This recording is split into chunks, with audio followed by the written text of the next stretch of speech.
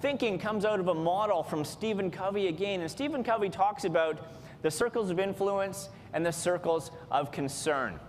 Now, the circles of concern are all those things that impact your world, but you can't do anything about them. So for us on the mountain, these were military decisions. These were government decisions. These were Olympic Committee decisions. There's even things like the weather. These things all impacted my ability to do what I wanted to do, but I couldn't do anything about it. For us back here in Canada, you know, this is the price of the Canadian dollar. This is competition. This is the recession. This is jobs being moved overseas. This is the unemployment rate. These are all things that impact your business, but you individually can't really do a whole lot about them.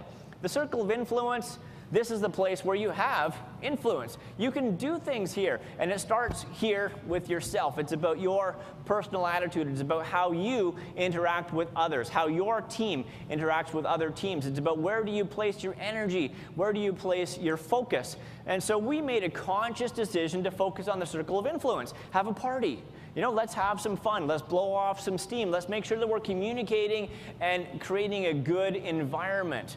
Now, when you looked around camp, you could see that there were some teams just like us living in that circle of influence. And there were other teams living in that circle of concern. They were arguing with the military, they were fighting with each other, they were fighting with other teams, and you could just see they were not happy. They were permanently grouchy. They, they were you know, going around and getting in skirmishes with other teams. And so it wasn't a, a good environment.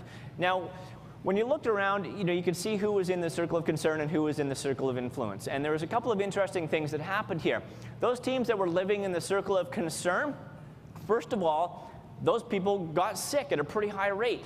I got to know the base camp doctor pretty well. And he would tell me what teams have got pneumonia, who's got pulmonary edema, who's got the flu. And there's a very close correlation between those teams that were living in the circle of concern and the teams that were getting sick. You know, you've all heard the studies, right? As our stress levels go up, our immune capacity goes down, we become more susceptible to illness and we get sick.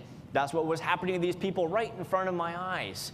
Now, also, when I look back at this kind of retrospectively, who got to the top and who didn't, those teams that spent their time in the circle of concern only had about a 9% success rate. So very low success rate because they had spent so much energy and so much time focusing on things that they couldn't change that they didn't have energy left to climb.